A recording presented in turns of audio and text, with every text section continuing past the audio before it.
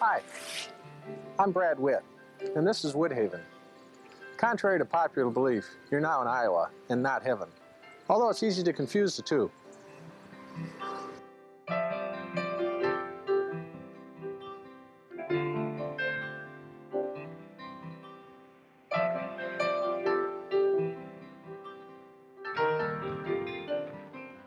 We've got a great show planned for you today, so let's go inside and get started.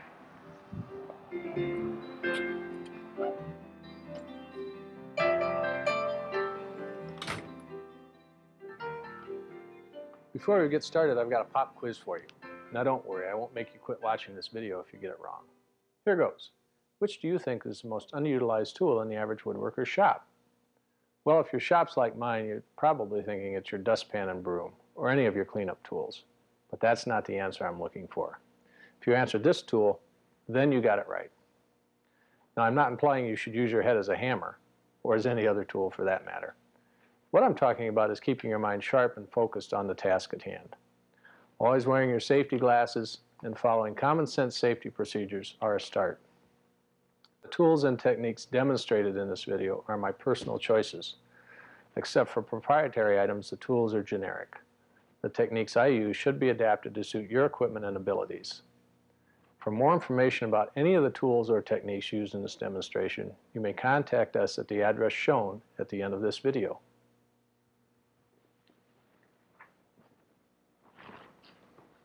This video is going to cover all aspects of making frame and panels, with emphasis on raised panel and cope and pattern work.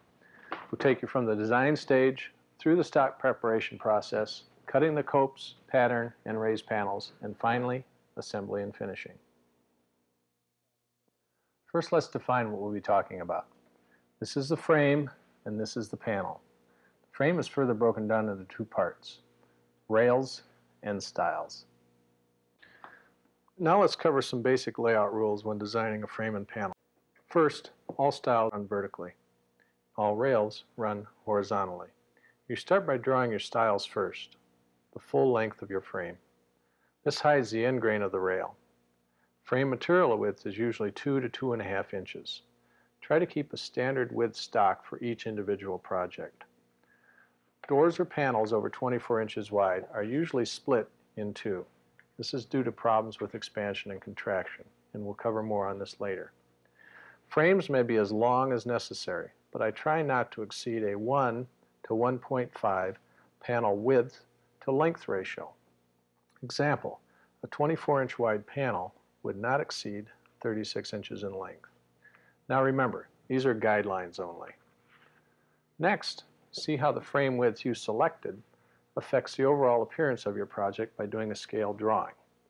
You may wish to adjust the width of your intermediate rails and stiles. Your stiles on side frames will also need to be reduced by the thickness of the face panel or frame. You'll also need to increase the width of your bottom rail and the length of your stiles to compensate for any base piece. If your project calls for cathedral, arched, or eyebrow rail, you usually design its narrowest portion to be the same width as your other rail and stile stock. The widest portion of all these pieces should also be the same as one another. In other words, the rise in all the pieces will be the same. Just the length of the pieces will vary. Now you're ready for the last step of the design phase. Make a detailed parts list and add an additional 25 to 30% for waste. Next, we're ready to begin the stock preparation phase for our rails and stiles. For rail and stile stock, I like to start with rough sawn lumber. This gives me enough thickness so I can face joint my boards to get them as flat and straight as possible.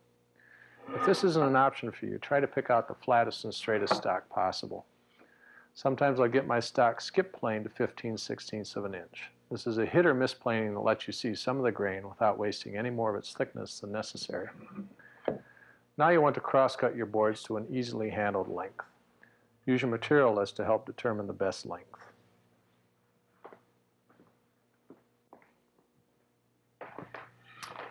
First, edge joint your board if necessary, and then rip it approximately 1 8 inch oversize as we've done here. Next, you'll need to edge joint and face joint your board. Now first we'll show you the face jointing operation. Remember to put your safety glasses on before using any power tools in your shop.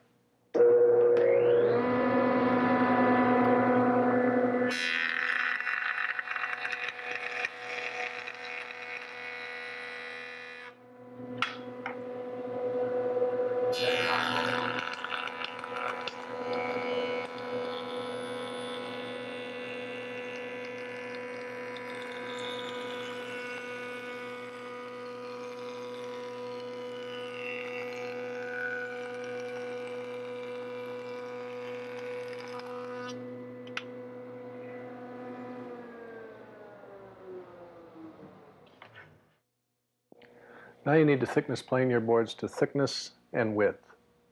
If you don't have a thickness planer, you can join your boards to width on your router table, which we'll show you in a minute.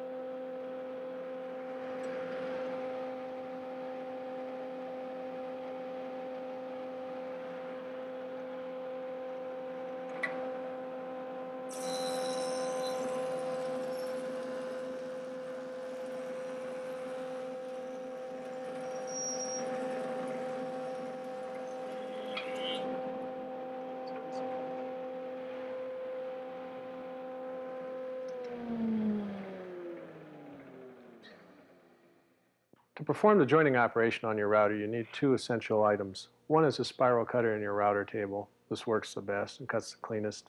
And two is some sort of offset fence that's attached to your router fence.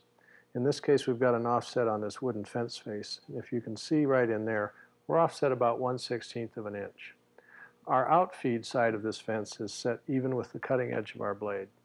And all we have to do now is run our workpiece along the cutter and we'll remove a 16th of an inch per pass.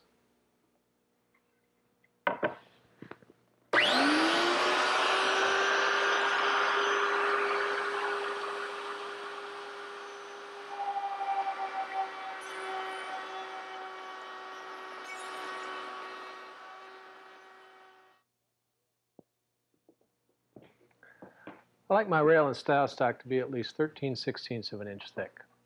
This gives me a 50% thicker and 50% stronger back tongue than a 3 quarter inch thick piece of stock would give me.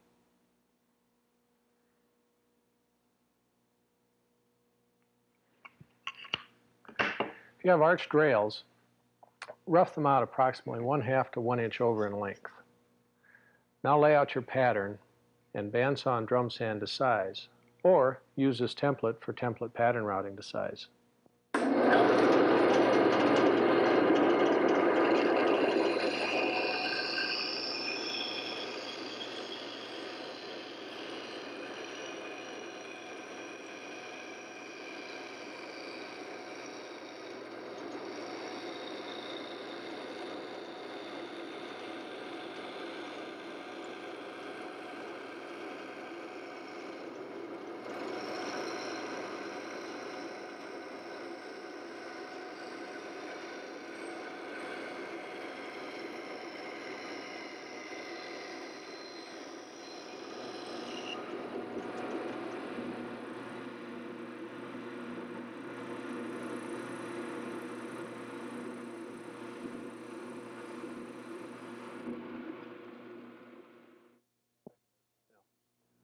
Rail and stile bits cut the cope and pattern profiles necessary to assemble the rail and stile framework.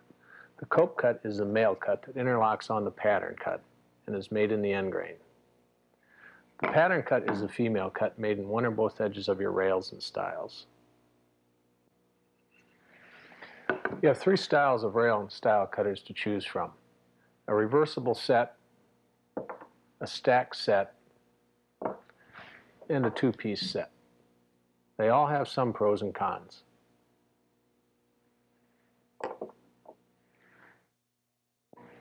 Stacked in two-piece sets can cost one and a half to two times as much as a reversible set. Stack sets are actually a reversible set with a longer arbor and an extra profile cutter thrown in. It's easy to change from cutting your pattern to cutting your cope. You simply lower your router. I don't care for this style because while you're cutting your pattern, that extra profile cutter is spinning over the top side of your workpiece. That's inviting trouble. However, with the proper hold downs, it could be used safely.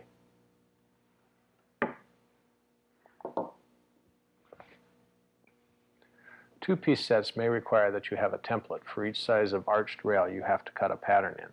This is because on some sets the bearing is way above the cutter. This eliminates using the rail piece for the bearing to write on and requires a separate template be made for this purpose instead. The nice part of these is that you eliminate the hassles of spacers and shim washers used on the reversible sets. As you may have guessed by now, my favorite rail and stile cutter is a reversible style. It'll follow arched rails without needing a separate template, and it's one half the price of some two-piece style bits.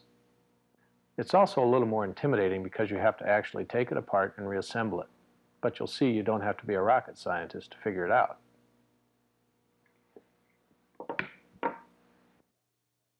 Before we actually make a cope or a pattern cut, we have to decide which cut we should make first. If you make your cope cuts first, you reduce your risk of blowout on the edge grain because you'll be cutting a profile on at least one of those edges later.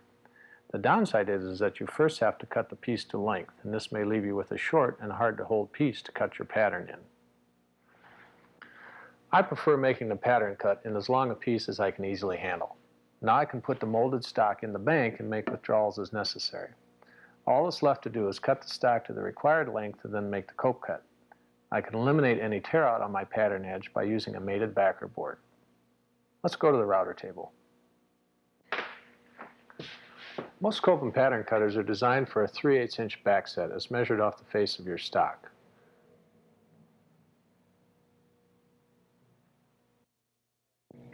We've installed our bit and we'll begin by making our pattern cut first and adjusting our bit to a 3 8 inch backset. We can do this with either a ruler or a previously cut piece of stock. Adjust the bearing on the bit even with or a little in front of the fence face to ensure you cut its full profile. Use your dust collector and hold downs to make the process safer. Now you're ready to make your pattern cut.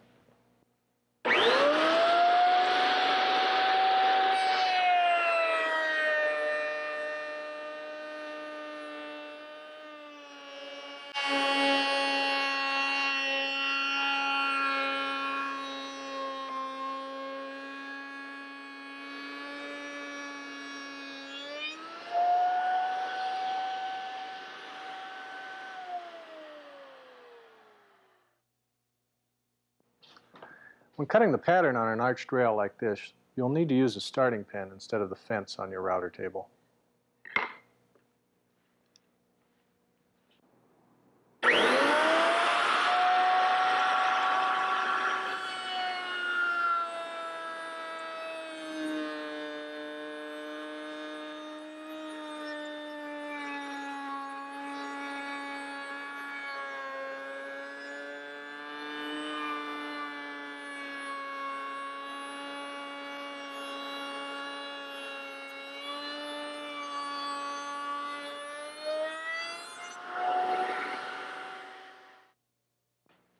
After making the pattern cut in the edge of our stock, we're ready to cut our stock to length.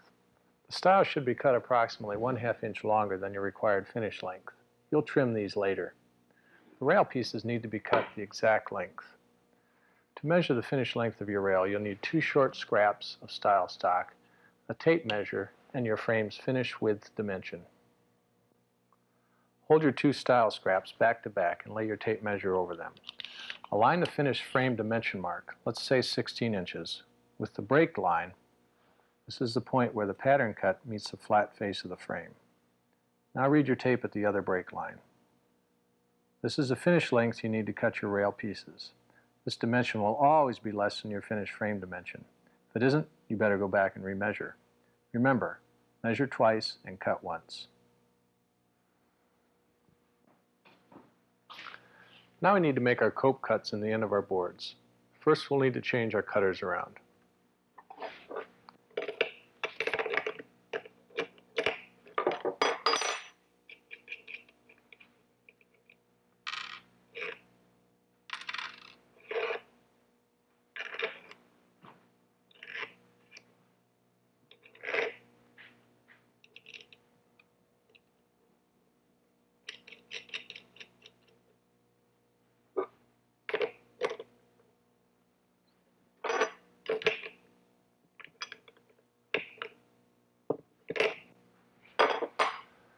Try it first without the shims and then add shims as necessary.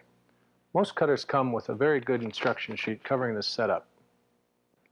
Next, adjust the bit height and make a test cut in a scrap piece. After you're satisfied with your fit, and here's a good fit, not too tight, you're ready for the next step. Using a scrap piece of stock, make a cope cut along one entire edge. Now you have a mating backer board use when cutting the copes. The only other tool needed is a push block. I find this is easier to set up than a miter gauge as it's always square to the fence. I'm indexing off the fence and not a groove in the table. The fence should be set up in line with the bearing on the bit.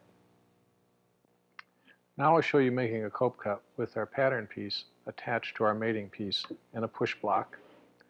Then we'll remove this and show you how to flip the piece around and just using our push block cut the cope on the opposite end.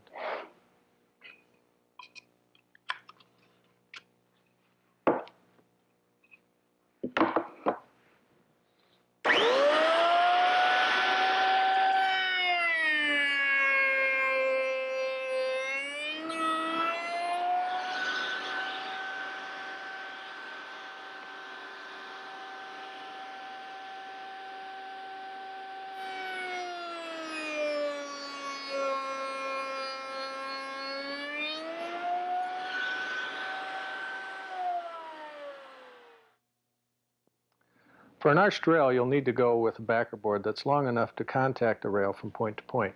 Then cut it just like we did before. After all this, you should be able to cope with just about anything. The next step is to dry fit your frame and mark some index lines on the stiles. If everything's cut right, this will go together real well for you.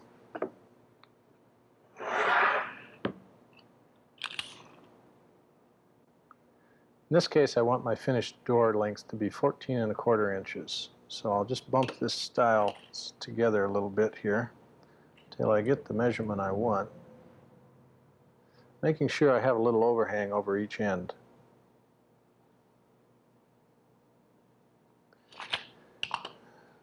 All I have to do is make a little indexing mark.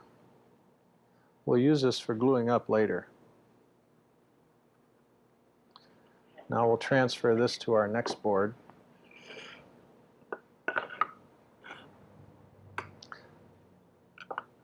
Using a good square, we'll keep these marks on both stiles and we can use these to ensure that we get good parallel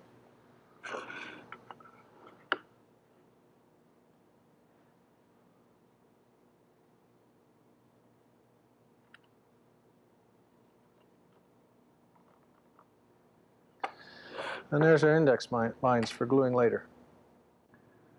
Many separate issues must be addressed before laying out the size of your panels.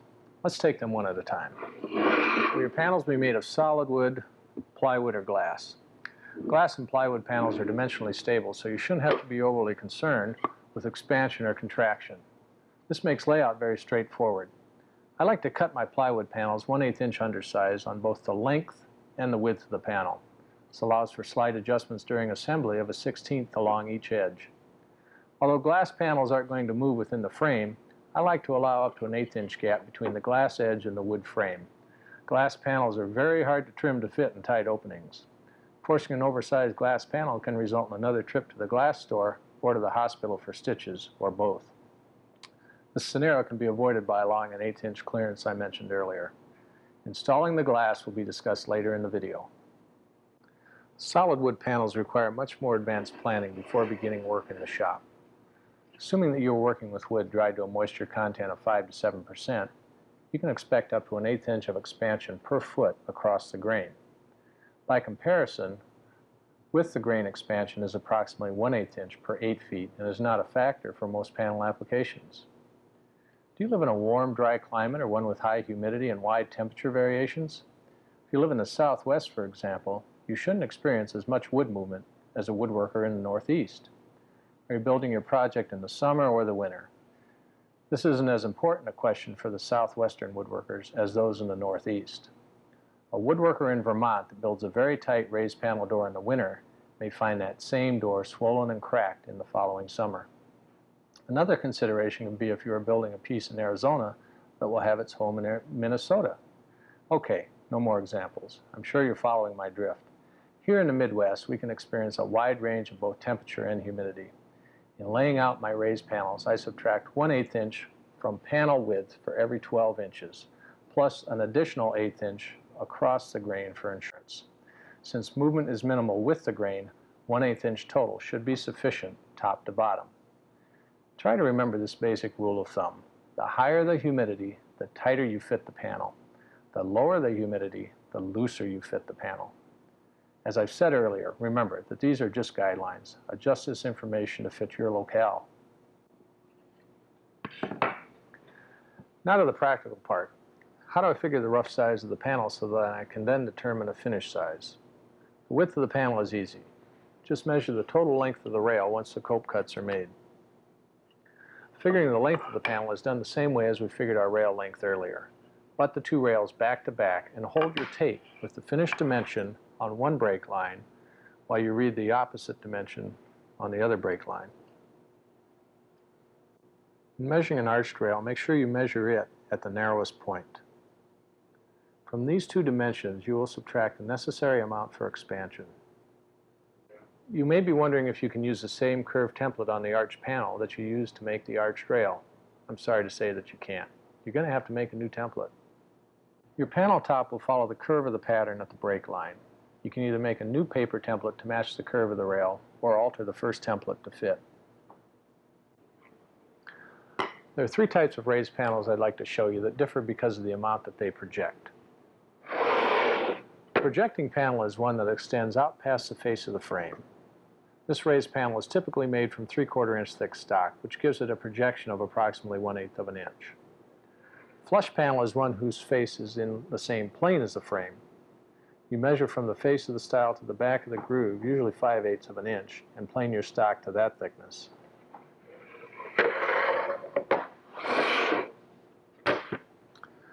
A recessed raised panel is one whose face is below the plane of the frame face, but still raised in relationship to the groove in the rail and stile stock.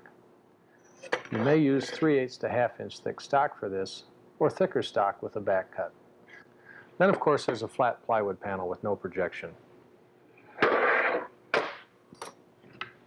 The back of most panels are normally flat, extending directly into the panel groove in the frame.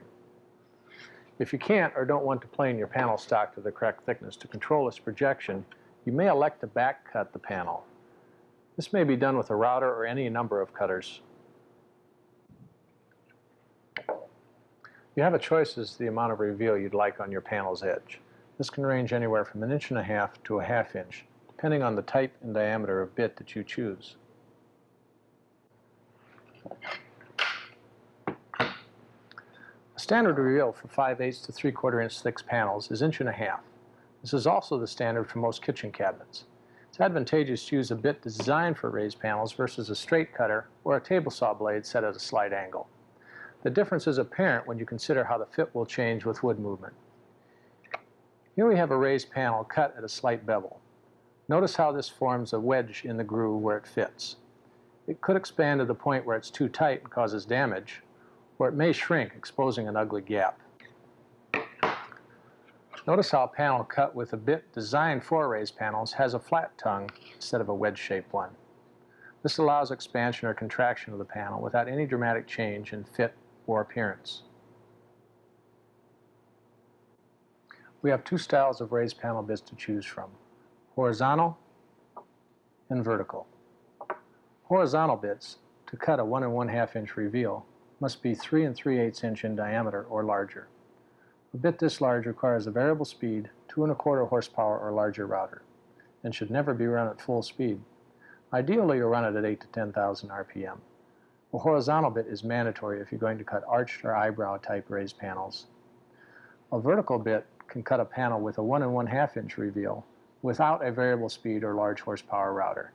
That's because the diameter of the bit is only 1 inch versus 3 and 3 eighths inch or more. A vertical bit will not cut an arched or eyebrow type raised panel.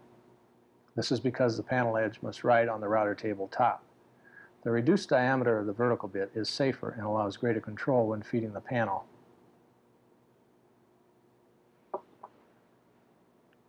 No matter which bit you choose, never make the panel in one or two passes. Always plan on making three to five passes to reduce the stress on the router, the bit, the workpiece, and yourself. Normally you'll keep cutting the panel until you get to slightly under a quarter inch tongue thickness. You want a tongue that will slide easily in a groove made by your pattern cutter without too much slop. Make successive cuts on all your panels instead of completing each panel individually.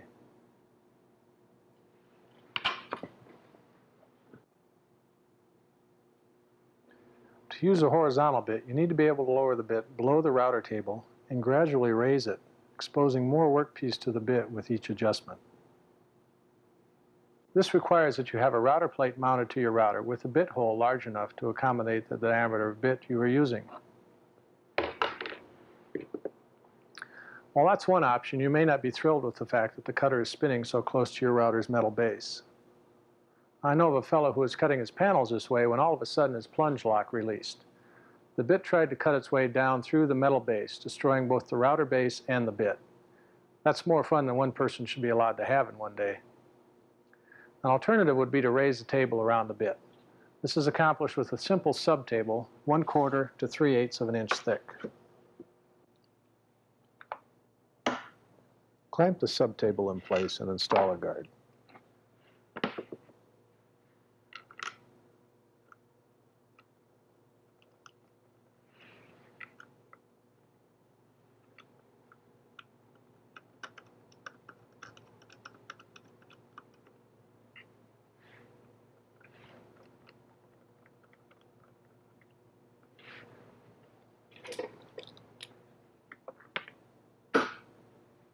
You'll notice we have a starting pin. This is mandatory. This is so that we can gradually pivot our workpiece off of it and into the cutter. This pin should be as close as safely possible to the bit. Notice how our bit is spinning just above the plastic plate. If it happens to drop, it will more than likely destroy the plate, but that's all, so it's a nice buffer. Our fence is also set back quite a ways from our bit to accommodate the curve of our arched panel. The pin and fence setback wouldn't be necessary if our panel had straight edges only. With this method, you'll need to be sure you have a safe amount, minimum 3 quarters of an inch, of your bit shank in the router. You'll also need to be sure that you have sufficient bit height adjustment. Here's how you cut an arch type panel with a horizontal bit.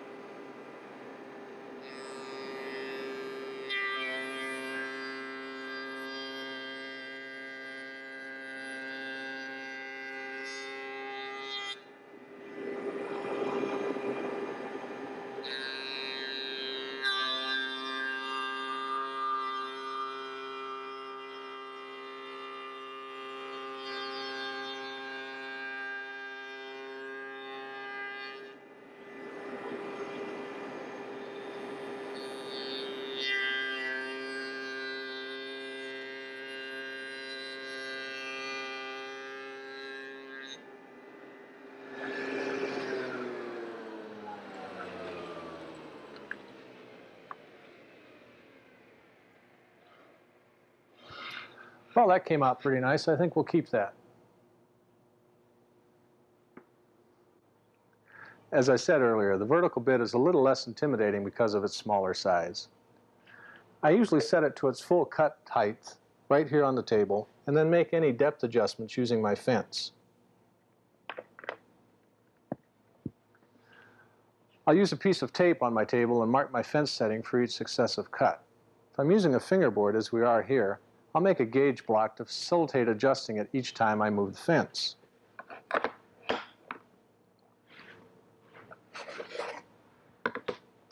You'll also notice I have an 8-inch high auxiliary fence attached to my regular router fence. This adds stability to the panel as I feed it.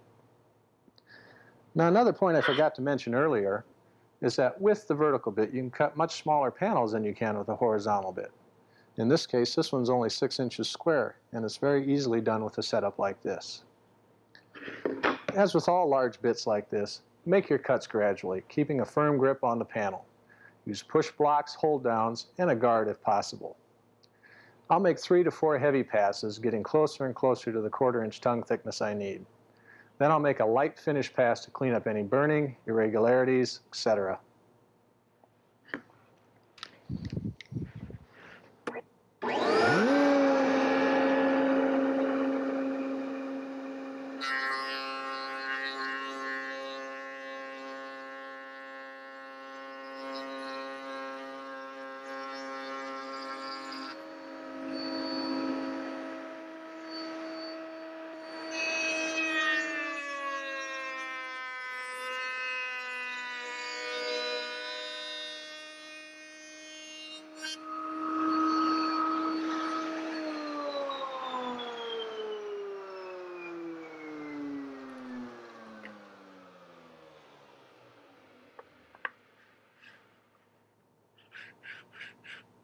Boy, that's a good fit. That's just what we're looking for.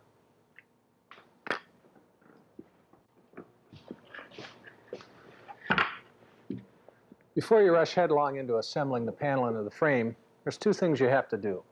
First, you need to sand it, especially the contours cut by the raised panel bit. Next, you need to apply a coat of stain if desired or one coat of clear finish. Then, after assembly, you don't have to worry about the panel shrinking and revealing an unfinished edge.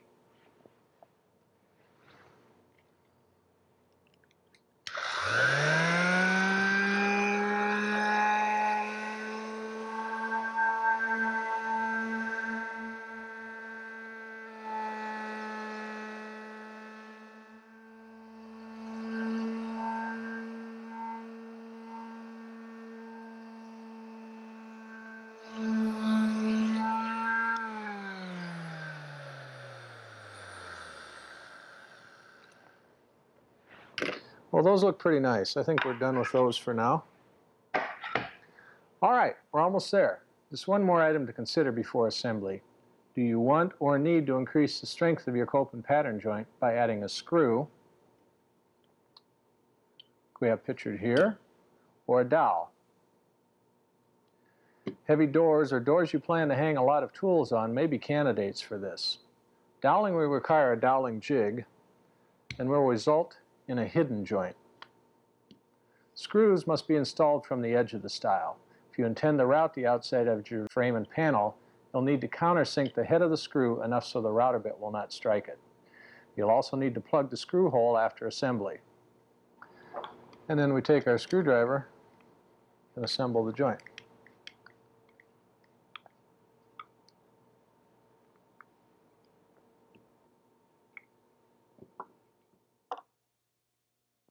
Now we'll cut a sample dowel joint to show you how it's done.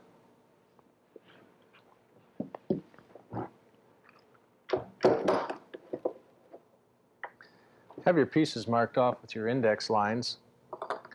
Use a simple dowel jig like this. Now with a jig like this, a lot of people use a brad point bit, but I don't. I find what happens is if I slightly wobble the bit in that dowel jig at all, I'll take the little tips off the end of my brad point. So I just use a regular bit.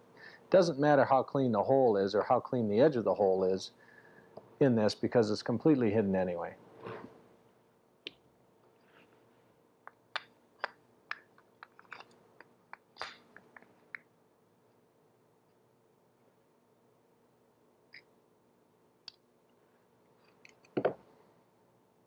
We'll put our workpiece in the jig and center it on our index marks, and then clamp it all on the vise. We've got a simple depth gauge here. Just drill down to our tape.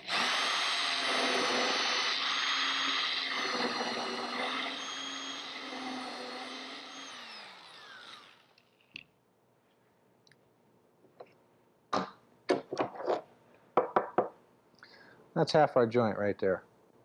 Now repeat the same procedure on the mating piece. Now you're ready to glue up your frame and panel. Lay out two stiles, two rails, and one panel, and dry fit everything. Brush glue onto the copes.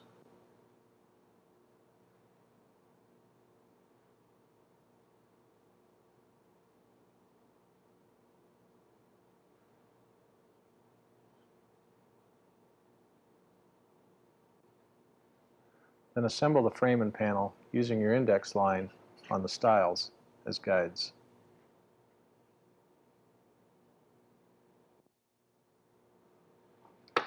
Clamp your frame up and then check for square. After drying, you can clip the excess off your stile ends on the table saw. If you're unsure that you'll be able to glue your panel up perfectly, and this can be challenging, then spread your index lines apart another 16th of an inch. Clamp and glue to these just like before. Now instead of clipping off just the ends of your stiles in the table saw, you'll actually cross-cut approximately 1 32nd of an inch off the entire edge.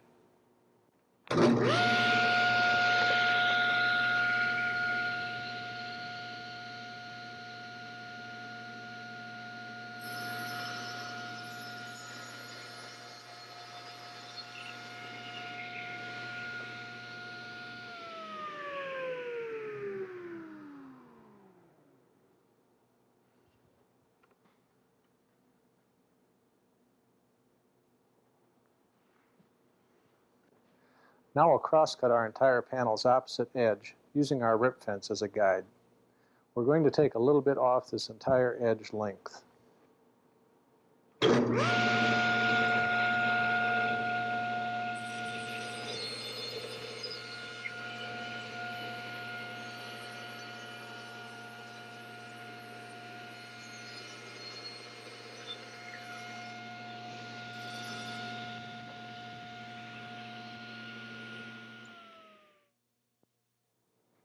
Now you have a frame and floating panel assembly. If your panel rattles or you want to center your panel in the frame to reduce excessive amounts of movement from one side to the other, you'll need to pin it. Center your panel in the frame and drill two pilot holes only through the back tongue and into the two end grain tongues of your panel. Use a small brad or a wooden peg to pin the panel in place.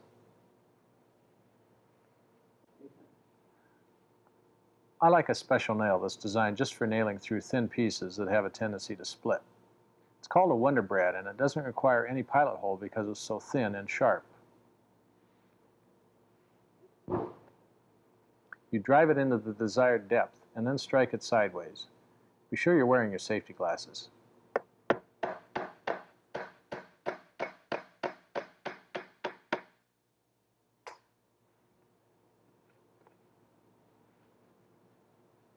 Breaks off just below the surface, so you don't even need to use a nail set. It doesn't get much better than that. Now we'll show you how to drill for the peg.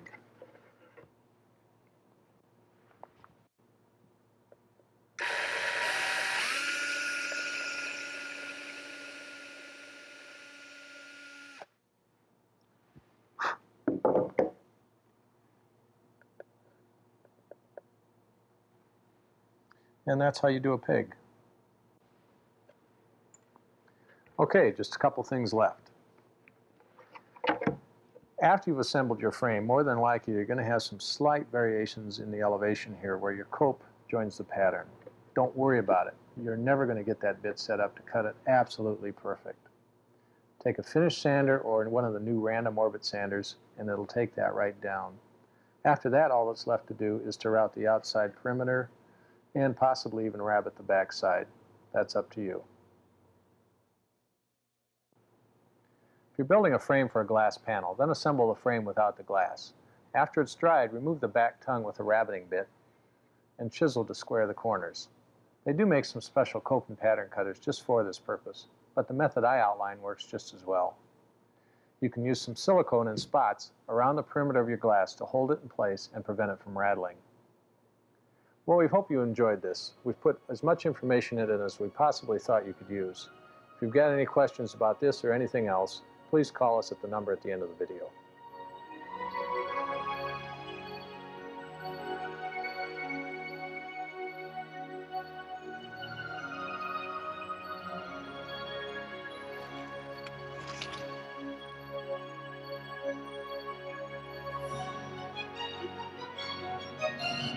Now the tools and techniques demonstrated in this video are my personal choices, except for protect, duh, not, or use your pattern as a template and template pattern out. Template pattern route. Here's how you cut an arch type panel with a horizontal bit. what? Run, run, run.